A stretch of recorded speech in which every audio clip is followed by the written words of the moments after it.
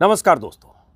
बिहार विधानसभा में बीजेपी की ताकत के दम पर, प्रधानमंत्री मोदी की कृपा के दम पर और अमित शाह के आशीर्वाद के दम पर नीतीश कुमार ने भले ही अपनी सरकार बचा ली, लेकिन विधानसभा में विश्वास मत पर भाषणों के दौर में, भाषणों के वक्त जब विपक्ष और विपक्ष के नेता अपनी बात रख रहे थे, तेजस्वी यादव से नीतीश कुमार तक, तब तेजस्वी यादव ने उनचालीस मिनट के अपने भाषण में जो कुछ कहा, उसे सुनकर, उसे देखकर, सोशल मीडिया पर हज़ारों लोग तेजस्वी यादव की तारीफ़ कर रहे हैं। वो लोग भी जो तेजस्वी की राजनीति के खिलाफ हैं, वो लोग भी जो बीजेपी के पक्के वाले समर्थक हैं, वो लोग भी जो आरजेडी और लालू यादव के खिलाफ लिखते और बोलते रहते हैं।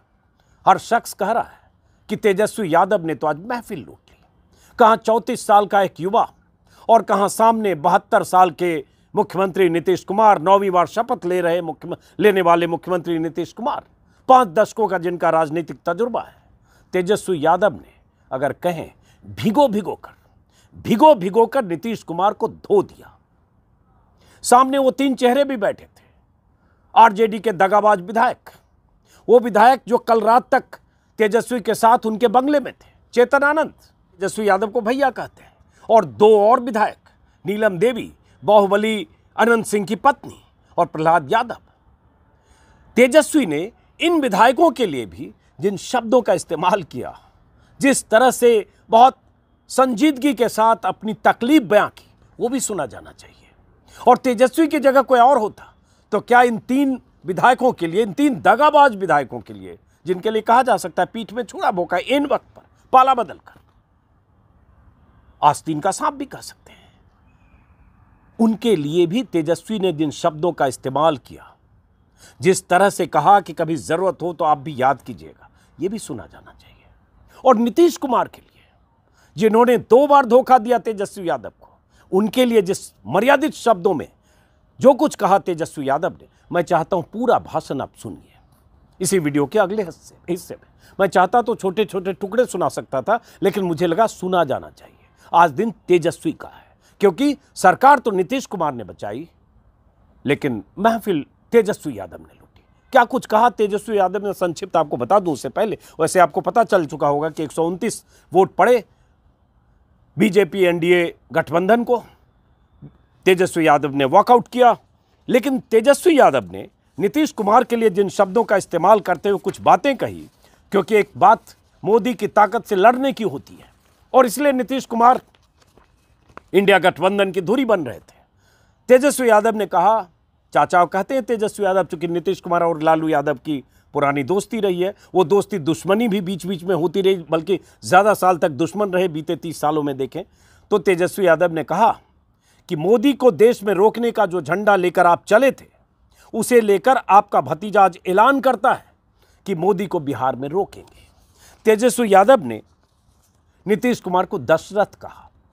दशरथ की उपाधि देते हुए कहा कि नीतीश कुमार हमारे लिए आदरणीय हैं, हमेशा रहेंगे। नीतीश कुमार ने कहा, तुम हमारे बेटे जैसे हो। हम भी उनको राजा दशरथ की तरह पिता मानते हैं। ज़रूरी, ज़रूर नीतीश कुमार की मजबूरी रही होगी। जैसे राजा दशरथ की रही थी, उन्होंने भगवान राम को वन भेज दिया। तेजस्वी ने आगे कहा कि हम इसे वनवास नहीं मानते हैं।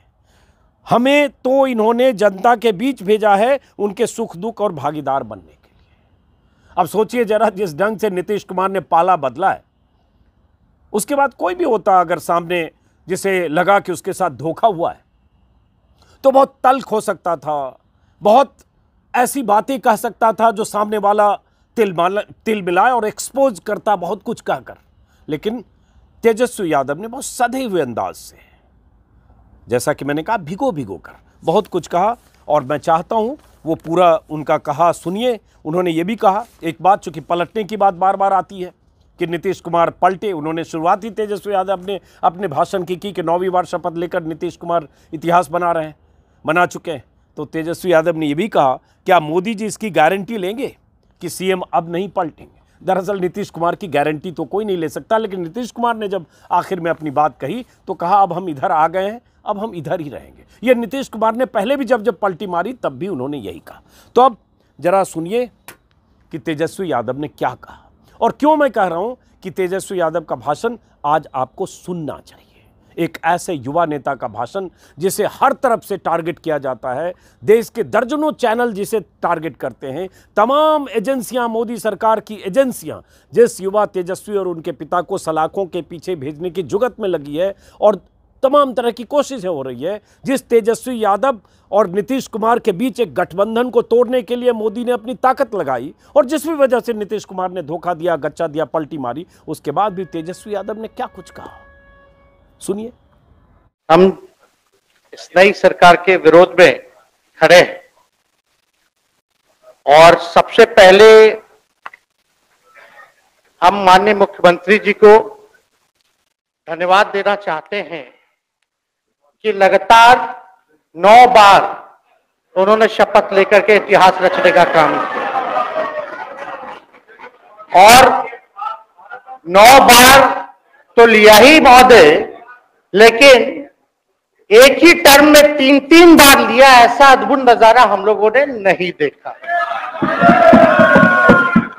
मान्य दोनों सम्राट चौधरी जी डिप्टी सीएम बने, बड़ी खुशी है कि ये डिप्टी सीएम बने। इनका बयान हमने देखा कि भाजपा जो है इनकी माँ। भाजपा पार्टी जो है माँ। लेकिन हम तो कहना चाहते हैं, आरजेडी ना आपकी माँ हुई ओरिजिनल तो आप तो पहले हमारे दल में ही थे। अच्छा चलिए, ठीक चलिए, कोई बात नहीं, आप अस्वीकार कीजिए, लेकिन जनता तो इस बात को जानती है। हमें खुशी है कि साथ में दो दो डिप्टी सीएम बने और विजय सिन्हा जी भी डिप्टी सीएम बने, स्पीकर पद पे भी रह लिए, नेता विरोधी दल भी रह लिए, और डिप्टी सीएम भी रह लिए, इन्होंने भी इतिहास रच दिया, एक टर्म में तीन तीन पद इन्होंने भी पा लिया।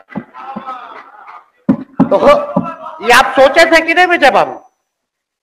अरे, आपके दिमाग में आया था कि आप एक टर्म में, एक टर्म में स्पीकर भी, डिप्टी सीएम भी और नेता विरोधी दल भी आप बन गए। तो इसके लिए आप तीनों लोगों को विशेष तौर पे हम बधाई देना चाहते हैं। माननीय मुख्यमंत्री जी हमारे लिए आदरणीय थे, हैं और हमेशा रहेंगे। हम इनकी इज़्ज़त हमेशा करते आए हैं और करते रहेंगे।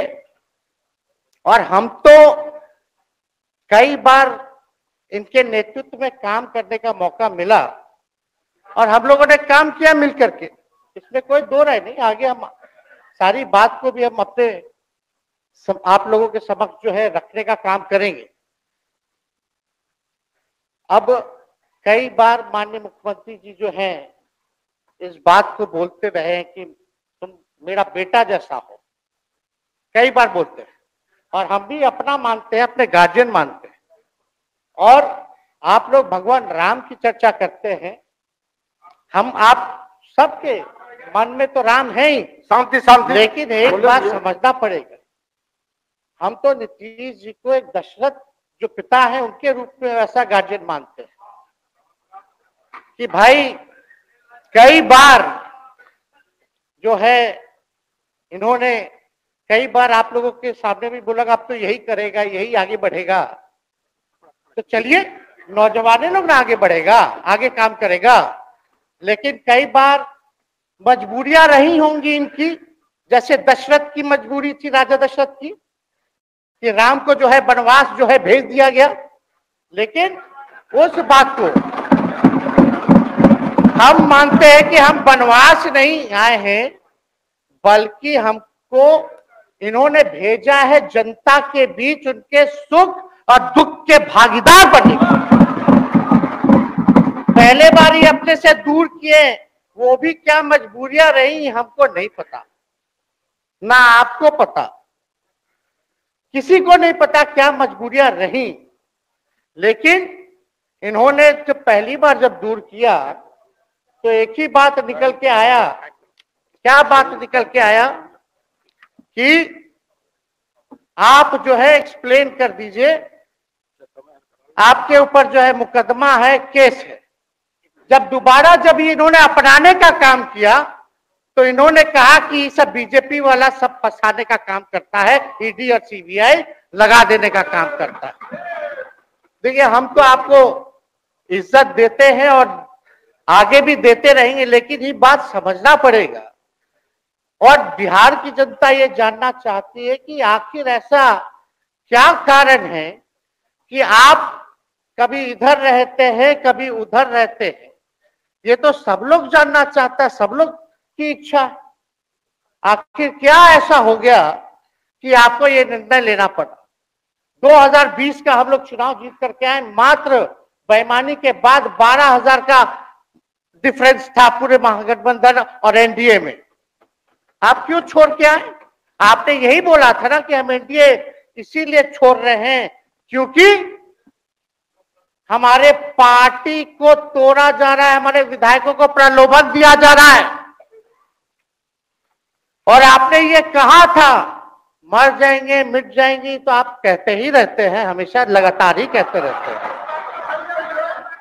उस पे उस पे हम नहीं जाएँगे, लेकिन आपने तो ये कहा था कि भाई, हम लोगों का एक ही लक्ष्य है, न प्रधानमंत्री बनना है, न किसी को मुख्यमंत्री बनना है। देश भर के विपक्षों को गोल बंद करके जो तानाशाह है, उसको दोबारा नहीं आने देना है, इसीलिए ना पाए थे। और आप जब गवर्नर हाउस गए महोदय, मुख्यमंत्री जी, जब आप बाहर आए तो आपने बोला कि आपका मन नहीं लग रहा था। आपने ये बोला कि मन नहीं लग रहा था। मन नहीं लगेगा तो हम लोग नाचने गाने के लिए थोड़ी आपका मन लगाने के लिए। हम तो आपका साथ न देने के लिए थे कि जो काम आप बोलते थे असंभव है, उसको हम लोगों ने मुमकिन करके दिखाने का काम किया।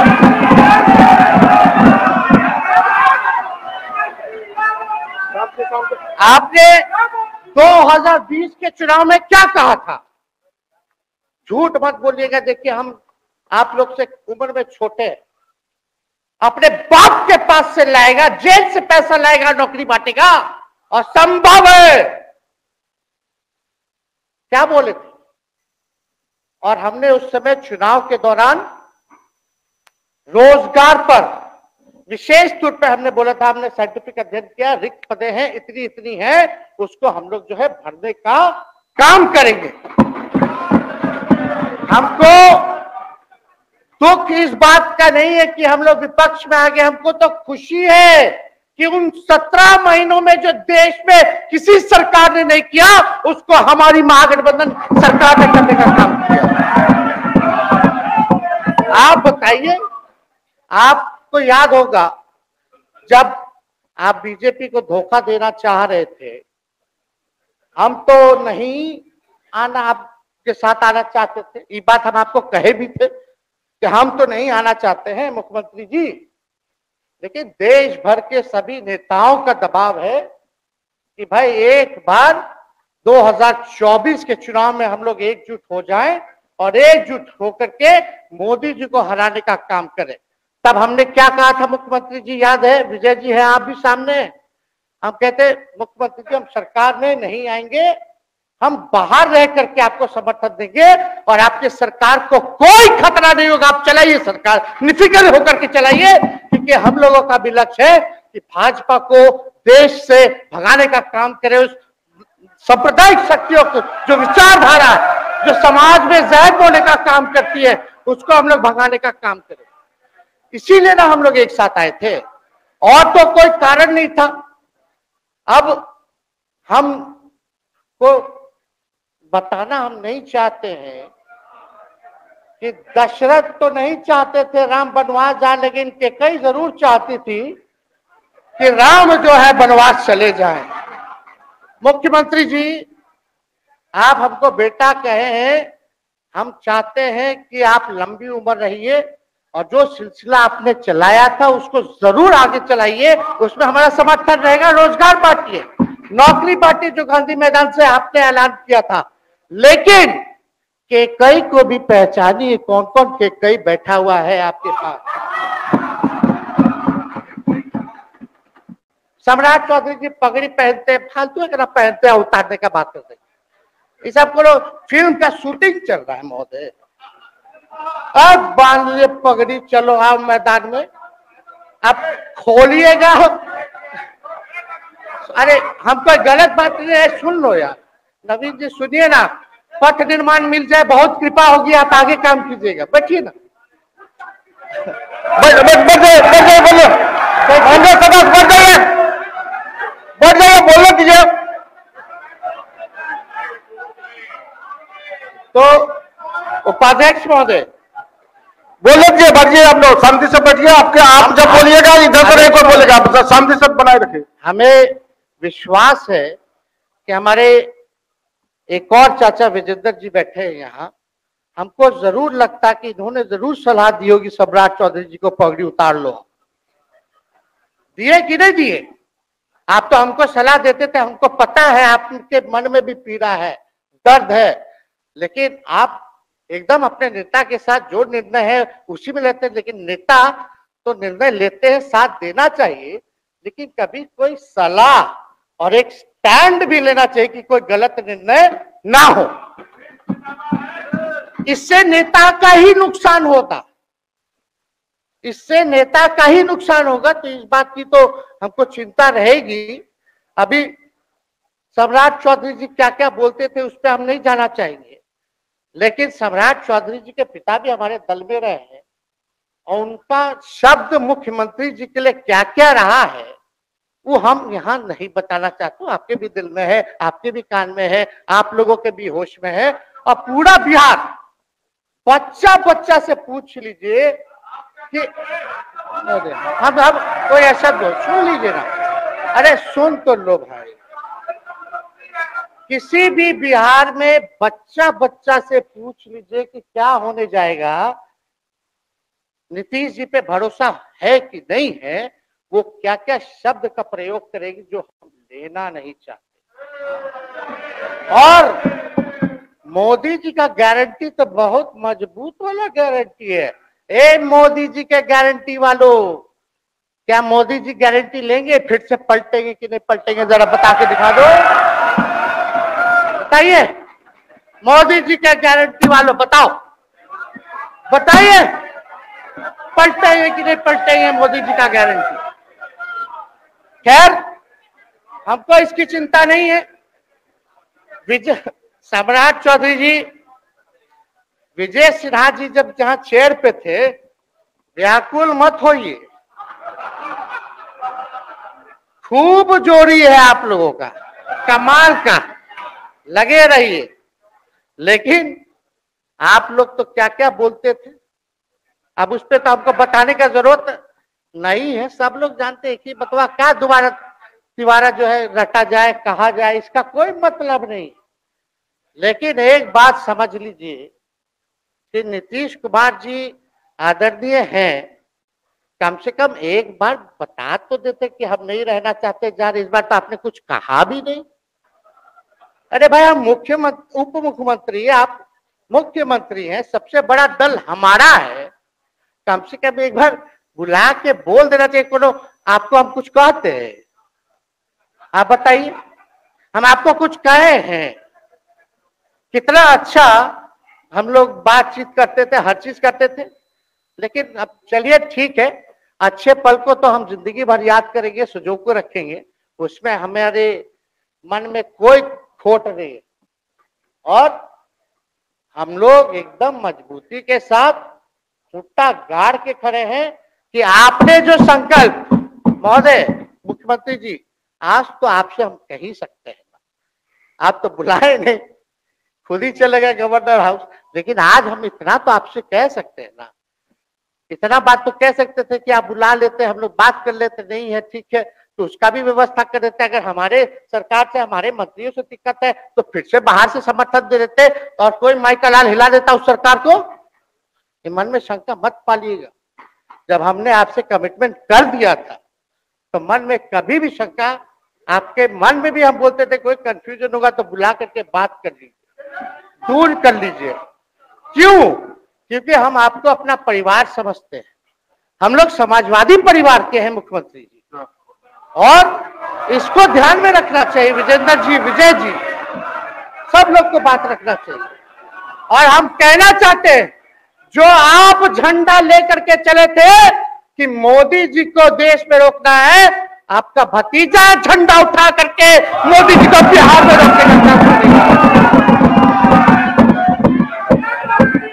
ये कोई ये कोई पहली बार नहीं है। ये कोई पहली बार नहीं है, मुख्यमंत्री जी, जो आप लोगों के साथ हम लड़ रहे हैं अकेले। हमारे साथ कांग्रेस है माले है।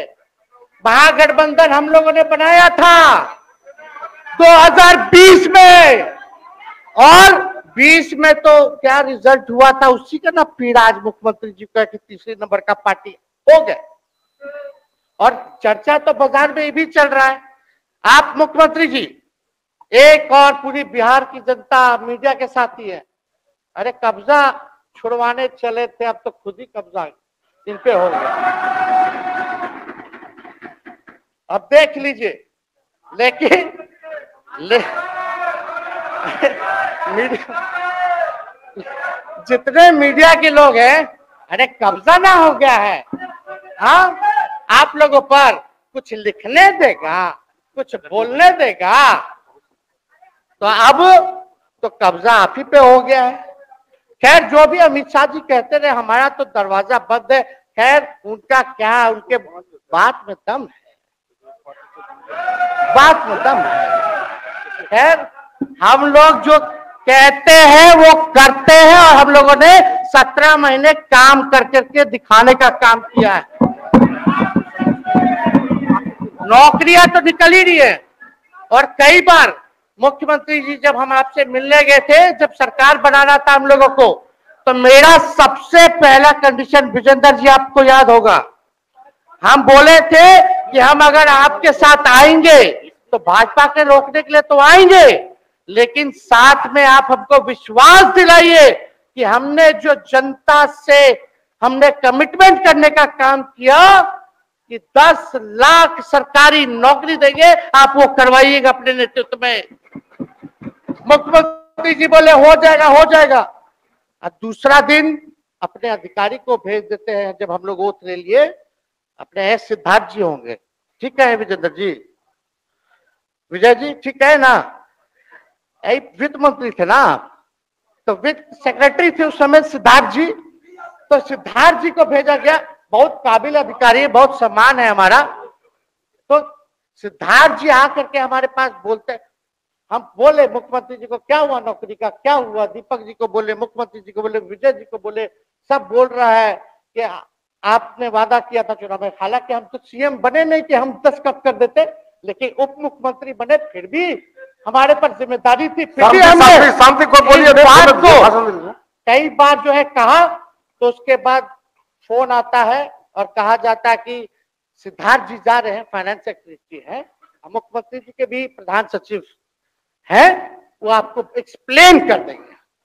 सिद्धार्थ जी आते हैं फ़ाइल दिखाते हैं, कैसे होगा सर, कुछ नहीं है पैसा, कैसे होगा? हमने बोल दिया, किसी भी हालत में ये काम हम लोगों को करना है।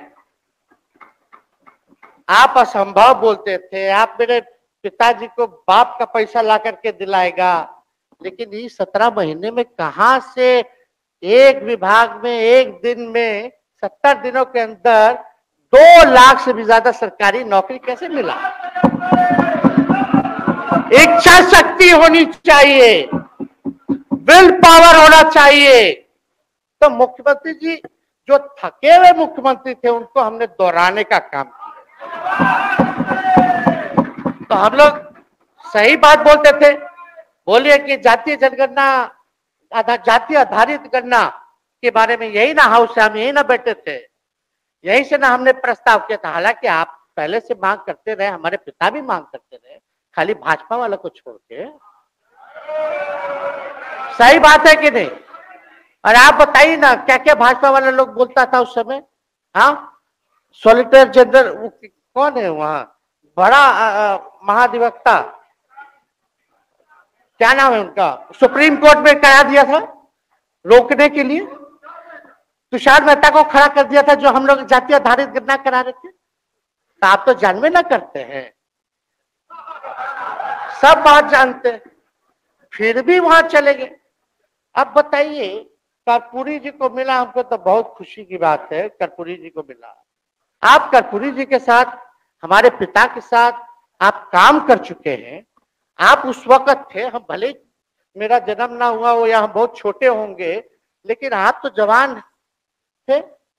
आपको तो ये पता था कि कर्पूरी जी जब आरक्षण बढ़ाए थे, उनकी सरकार थी तो जनसंघ जो था, उस सरकार में था। जब कर्पूरी जी जब आरक्षण बढ़ा दिए तो यही जनसंघ वाला ही ना कर्पूरी जी को मुख्यमंत्री पद से हटाया। कौन हटाया? और आप कहा बैठ गए? आप कर्पूरी जी का नाम लेते हैं और आप कहाँ बैठ गए मुख्यमंत्री जी? और वही जनसंघ वाले, भाजपा वाले कहते थे, क्या बोलते थे? आरक्षण कहाँ से आई? कहाँ से आई? कर्पूरी जी तो हम नहीं बोलेंगे। नहीं बोलेंगे नहीं बोलेंगे। ये बोलते आप हैं। और आप कहाँ चले गए मुख्यमंत्री जी? बताइए हम अगर गलत बोल रहे तो इस बात को बताइए। विजेंद्र जी विजय जी आप लोग सब लोग उस समय रहे हैं भाई, सब लोगों ने नेतृत्व में काम किया है। हालाँकि पता नहीं उस समय विजय जी शायद कांग्रेस में थे, लेकिन मन से ये समाजवादी भी रहे हैं तो इतना सब लोग का सहयोग रहा, कर्पूरी जी को भारत रत्न मिला तो ये लोग तो भारत रत्न डील बना लिया, डील करने के लिए। हमको वोट मिलेगा, और डील कर लो, भारत रत्न दे देंगे। भारत रत्न दे देंगे डील कर लो। सम्मान नहीं करते, आप लोग डीलिंग करते हैं डीलिंग करते हैं। भाजपा के लोग सम्मान नहीं करते डीलिंग करते हैं। केवल वोट बैंक की राजनीति के लिए करते हैं। और हम लोगों ने कितना आरक्षण बढ़ा दिया? पचहत्तर परसेंट। लालू जी का जब सरकार था तो उस समय शायद बारह या चौदह परसेंट था। राबड़ी जी के सरकार में अठारह परसेंट हुआ। उसके बाद जो है, आप आए तो और बढ़ गया, हम लोग आए तो पचहत्तर परसेंट तो हम लोग ले ही गए, लेकिन 24 के आसपास जो है, अति पिछड़ों का आरक्षण जो है वो मिला। तो हम लोग तो ये सब काम करते रहे। और हम लोग विचारधारा को मानने वाले लोग हम लोग सिद्धांतवादी लोग हैं। एक जगह खड़े रहते हैं तो मजबूती के साथ खड़े रहते हैं इधर उधर हम लोग नहीं करते। तो इसलिए उपाध्यक्ष महोदय, हमको किसी बात का डर नहीं, फ़िक्र नहीं। हमारे पिता लालू जी है और उनका खून मेरे अंदर हम लालू जी का बेटा है, इन सब चीज़ों से घबराते और डरते नहीं हैं। संघर्ष करते हैं और लड़ते हैं। तो हम लोग लड़ाई जो है, लड़ने का काम करेंगे। और आप मुख्यमंत्री जी कह रहे थे कि उधर चला गया, जब इस्तीफा देकर के आए थे गवर्नर हाउस से तो ये बात तो बोले कि मन नहीं लग रहा था। दूसरा बात ये बोले कि क्रेडिट ले रहा था। मेरा डिपार्टमेंट, विभाग आरजेडी का में हमारे मंत्री, हम लोगों ने नौकरी दिया सत्रह महीने में, पहले तो नहीं मिलता था तो क्रेडिट क्यों ना ले? एक मिनट, अब आप लोग सरकार बना लिए। एक मिनट या सुनिए ना भैया, सुन तो लो, सुनना ही नहीं चाहते, आप ही के हित में बोलना चाह रहे आप बोले क्रेडिट का, सम्राट जी विजय सिन्हा जी, ये हम आप लोग को पहले सचेत कर दे रहे सचेत इस बात का करें कि महागठबंधन की सरकार तो हम लोग नहीं रहते तो फिर से मुख्यमंत्री नहीं बनते। लेकिन एक बात समझिए, अगर आप लोग अभी सरकार में जो काम होगा, उसका क्रेडिट नहीं लीजिएगा। तो मुख्यमंत्री जी, हम लोग सत्रह महीने जब थे सरकार में तो उसका क्रेडिट क्यों ना ले? आप लोग बताइए क्यों ना ले? अब आप लोग सरकार में आए भाजपा के लोग और नीतीश जी बोलेंगे कि नहीं, क्रेडिट नहीं लेना, क्रेडिट केवल मेरा। तो आप लोग क्या कहिएगा? क्या कहो क्या कहिए? अरे भाई। शांति शांति। हम हम लोग पिछला जब सत्र चल रहा था उपाध्यक्ष महोदय जब पिछला सत्र चल रहा था तो मांझी जी मांझी जी अपनी बात को रख रहे थे अपनी बात को रख रहे थे तो मुख्यमंत्री जी एक मिनट। मुख्यमंत्री जी जो है गुस्सा में आए। गुस्सा में तो आए तो आए, लेकिन उसके बाद मांझी जी का रिएक्शन बाहर हुआ था मुख्यमंत्री जी। अब बाहर जाके बोले थे कि आपको जो है कोई गलत सलत दवा खिला देता है। बोले थे हम नहीं बोले गलत सलत दवा खिला देता है, और उनकी मानसिक स्थिति ठीक नहीं है, उनको जो है इलाज कराना चाहिए था। बोले थे कि नहीं बोले थे मांझी जी? अब अब हमको अब अब अब हमको पूरा मांझी जी पे भरोसा है कि अभी अच्छा दवाई कराएँगे। मांझी जी ख्याल ज़रूर करिएगा। वो आप बड़े हैं आ, आपका सब जवाब मेरे यहाँ। कोई नहीं ज़रूर दीजिए ना कोई दिक्कत नहीं हमको। तो आप दवाई अच्छे से खिलाइए पिलाइए और थोड़ा बगले में कमरा ले लेते। जाके ले लीजिए। अगर जाए सच में अगर चिंता है तो आप कमरा ले लीजिए। वरना आज अगर आप बोलिएगा तो अपना वचन वापस ले लीजिएगा जो मुख्यमंत्री जी के बाहर बाहर बोले। आ, नहीं नहीं आप बोलिएगा ना आपका बारी आएगा। अरे अरे बैठिए। आपको मौका मिलेगा माननीय सदस्य बैठ जाइए मौका मिलेगा आपको। आपको अपनी बात रखने का मौका मिलेगा। बैठ जाइए बैठ जाइए आप, आपको मौका मिलेगा। आप बोलिएगा बोलिएगा अच्छा से बोलिएगा, बैठिए। अरे, कोनो नया बात बोलिए ना वो हट गए तो हमने उनको बोल दिया तो उस साथ आ गए तो हमने तारीफ़ कर दिया, वो उधर चले गए तो हमने बुराई कर दिया तो कौन नहीं करता? सब तो कर ही रहा है। अरे, कौन नहीं कर रहा है? इसमें नया बात क्या बोल रहे हैं? हम तो चिंता की बात ना कर रहे हैं कि आपको अगर सही में चिंता है तो बगल में कमरा लेकर के ठीक से दवाई कीजिए। नहीं है तो अपना शब्द वापस हम तो यही कह रहे हैं अच्छा इस पे कोई बुरा बात लगने वाला बात नहीं है। हम तो छोटे हैं बड़ा आपका हृदय है इतने बुज़ुर्ग है हमारे अभिभावक है बच्चा को गलती गलती करता है तो क्षमा कर देना चाहिए दिल बड़ा रखिए। तो इसमें नहीं कहना अब हमको तो बच्चे ना बोल रहे थे। अब कंक्लूड कीजिए अध्यक्ष बोलने दीजिए आज ही तो मौका मिला है ना। हाँ? आ- आज ही ना मौका मिला। इसके बाद तो हम जनता के बीच है। जो हमारी मालिक है जनता, सदन कैसे चलेगा तो हमको पता है क्योंकि भाजपा का शायद स्पीकर है। आने वाला जो भी होगा। तो सदन कैसे चलेगा तो हमको पता है। तो कोई मतलब नहीं, हम तो जनता के बीच रहेंगे, काम करेंगे, जनता के बीच रहेंगे तो उसकी हमको कोई चिंता नहीं। तो इसलिए हम सब लोग जो है इस बात को ध्यान रखे कि हम सब लोग यहाँ हैं तो बिहार के हित के लिए, बिहार के तरक्की के लिए और स्थिरता जब तक नहीं रहेगी कोई सरकार में, जब तक कोई स्टेबिलिटी नहीं रहेगी सरकार में, तब तक विकास संभव नहीं है। और हमको तो पीड़ा होती है जनता दल यूनाइटेड के विधायकों के प्रति। इस बात के लिए कि मुख्यमंत्री जी तो इधर से उधर भाग गुना कर लेते हैं, जो करना है कर लेते हैं, लेकिन जनता के बीच तो वहाँ विधायक के लोग ना जाकर के जवाब देगा। आप ही लोग ना दीजिएगा। अब आपसे कोई पूछेगा, काहे बताओ नीतीश जी, तीन बार शपथ लिए तो क्या बोलिएगा? तू गरियात रहना पहले, अब तू पढ़ाई करत रह, क्या बोलब? हमने नौकरी दिया ही कहेंगे। क्या बात कर रहे हो? हाँ? तो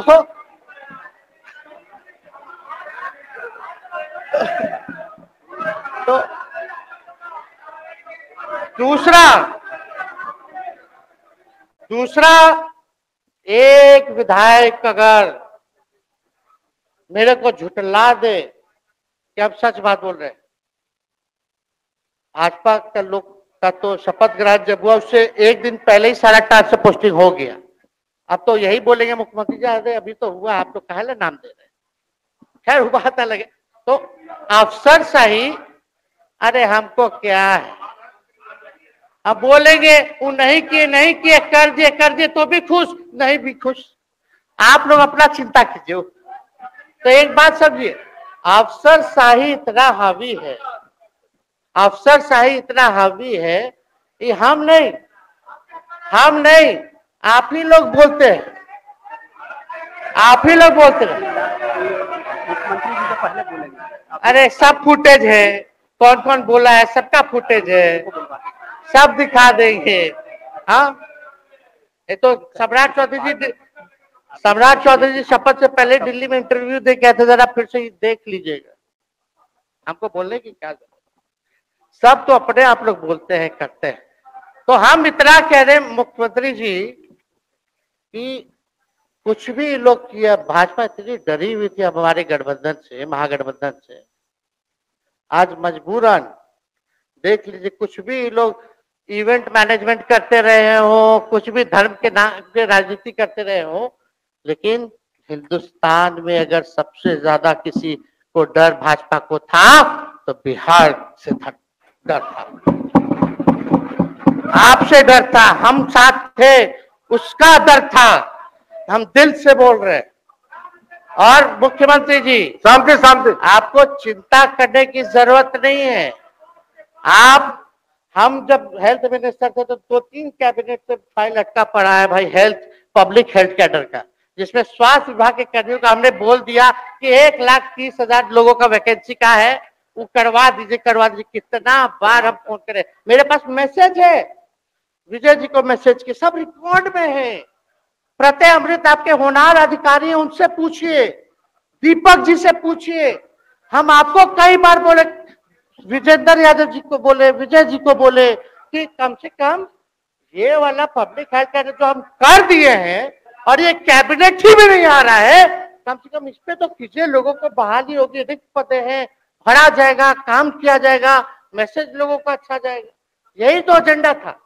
तो हम तो देखिए ना, आप लोग अगर बारह हज़ार वोट के अंतर से छल कपट करके जीत के 2020 में आए तो पाँच साल का ना था। पाँच साल में, पाँच साल में भी तो साढ़े तीन साल चल रहा है, उसमें से हम लोग तीन, सत्रह महीना रह ली। उसमें सत्रह, चोर अच्छा अच्छा अच्छा भैया चोर दरवाजे से अगर हम घुसे तो चोर का दरवाज़ा किसने खोला? अरे बता भाई। माननीय सदस्य कृपया समाप्त करो चार बजे तक समय है। आप लोग आप लोग अरे आप लोग आप लोग छोड़िए ना। आप लोग को तकलीफ़ होगा। जब पीड़ा मिलेगी वहाँ से तो तेजस्वी खड़ा होगा। समझे? और आज हमारे प्रहलाद जी सबसे बुज़ुर्ग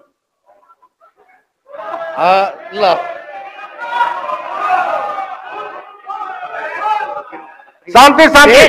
देर दे, नहीं बिहार की जनता सुनना चाहती जानना चाहती है कि नौ बार शपथ आप क्यों लिए? एक साल में तीन बार शपथ क्यों लिए? लेकिन हम तो यही ना खाली कह रहे कि भाई जो प्रहलाद जी है, हम आपका धन्यवाद करते हैं कितना दिन तक आपने पार्टी का झंडा बुलंद करके रखा। और आप स्वस्थ रहिए। माननीय मुख्यमंत्री जी और सरकार से यही आग्रह होगा कि जो आपका बात हुआ है उस पर वो खड़े उतरे। कोई आए ना आए, जब समय आएगा तो तेजस्वी आएगा। ठीक है समाप्त किया जाए। याद कीजिएगा, मेरा छोटा भाई चेतन जब थक थका करके कहीं आप लोगों ने कुछ नहीं किया तो हमने टिकट इसको दे करके जिताने का काम। और इनके पिता के गुण पे नहीं, इनके गुण पे। नौजवान लोग रोड है, लंबा चलना नया टीम बनाना है।